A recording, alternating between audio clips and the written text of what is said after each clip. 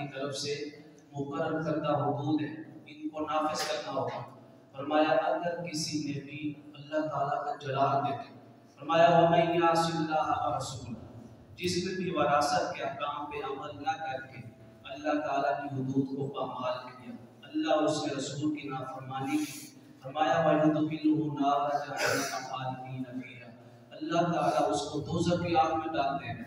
फरमाया, वलहु अज़ाबुन मुहीन वहाँ पे बड़ा जलील और रुसवा कर देने वाला अज़ाब सुनन भी शरीफ की हदीस पाक है फरमाया, जिस शख्स ने मिरास में से थोड़ा सा हिस्सा है अगर सादा सी ज़ुबान में एक एक रुपया पाकिस्तानी ज़ुबान, अगर किसी ने वरासत में से एक रुपया भी किसी का रखा ना तो आका करीम सलाम ने फरमाया, अल्लाह ताला उसके ऊपर अपनी जन्नत को हराम कर देगा।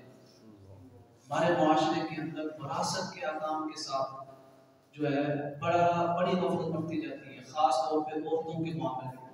फरमाया जो औरतें हैं, माँ का हिस्सा भी रखा गया है, बहनों का हिस्सा भी रखा गया है, बेटियों का हिस्सा भी रखा गया है, बेटों का हिस्सा भी रखा गया है, ऊपर माँ का हिस्सा भी रखा गया है, दादी का हिस्सा भी रखा गया है।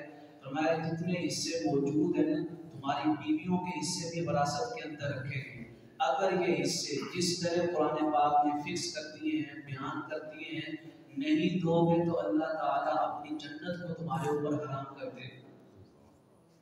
वाहिद अहकाम है कुरान पाक के अंदर, जो तफसीली तौर पे बयान है, उनके अंदर एक विरासत के हुक्म है। कोई भी शख्स फौत होता है, उसकी विरासत कैसे तकसीम होनी है, अल्लाह ताला ने पहले फिक्स कर दिया बयान कर दिया किसी के पास जाने की ज़रूरत ही नहीं है कि आप फलां को इतनी विरासत देना चाहते हैं, फलां को इतनी देना चाहते हैं, फरमाया नहीं। जिस तरह अल्लाह ताला ने तकसीम कर दिए है उसी तरह तकसीम होगा। जो इस तकसीम को नहीं मानता है तो फरमाया उसकी सजा दोज़ख की आग।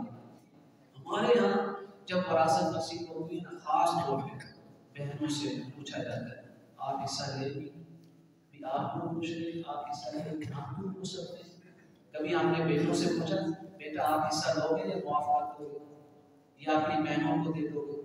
बहनों का मामला आता है, बेटियों का मामला आता है, भाई बहनों को बुला के, बाप जो है वालदेन अपनी बेटियों को बुला के पूछते हैं, आप लोगों ने हिस्सा लेना है या अपने भाइयों को दे देंगे?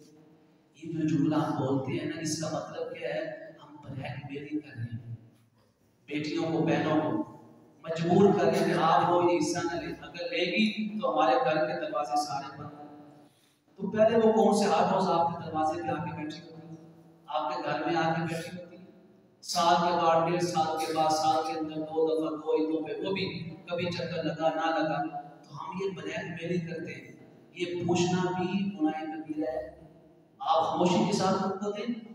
अगर वो आपको वापस कर दे, उनकी मर्ज़ी है। अगर ले ले, तब भी उनकी मर्ज़ी है। ये नहीं है कि वो माफ़ नहीं कर सकती। कर सकती है, लेकिन जिस तरह हम माफ़ करवाते हैं, ये गैर शरी है सबसे पहले अगर उनका हिस्सा बनता है, मिसाल के तौर पे दस लाख रुपया विरासत के अंदर, आप उनको दस लाख रुपया पकड़ा दें उनके हाथ में। उसके बाद मैं देखता हूँ कितनी बेटी और कितनी बहनें अपना दस लाख रुपया वापस करती हैं। हम एक दबा के बैठे होते हैं, दस लाख रुपया उधर से पूछ बेटा, आपको चाहिए या अपने भाइयों को दे देगी? मेरी बहन आपको चाहिए या हमें दे देगी? फिर दस लाख रुपया पहले उनको दे, फिर पूछे, फिर कभी भी आपको वापस नहीं करेंगे। इसलिए अल्लाह ताला ने वरासत के कवानीन के ऊपर पुरानी स्टैंप लगा दी है। फरमाया, कोई भी शख्स क़यामत तक इस कानून को चेंज नहीं कर सकता। कितना बड़ा कानून है तो आप जाकर देखिए। कितनी ज़्यादा होती है खास तौर पे बेटियों के साथ, बहनों के साथ। वरासत में से हिस्सा मिलता। हम सबसे पहले तकसीम करने से पहले मुआफ करवा हत्ता कि सूरह निसा सारी की सारी सिर्फ़ इसी वजह से नाजिल हुई कि अरब के मुआशरे में जो कुफार मक्का थे ना, वो औरतों को हिस्सा नहीं देते थे विरासत में औरतों का सारे का सारा हिस्सा बेटों में तकसीम कर देना, लड़कों में तकसीम कर देना। आज हमारे मुआशरे में ऐसा हो रहा हो बच्चियों का सारे का सारा हिस्सा किन में तकसीम हो रहा है? बच्चों के दरमियान तकसीम हो रहा है।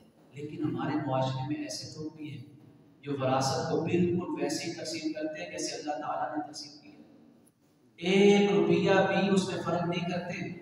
और ऐसे लोग जो है ना कि अल्लाह ताला के फजल के बगैर तकसीम कर सकते।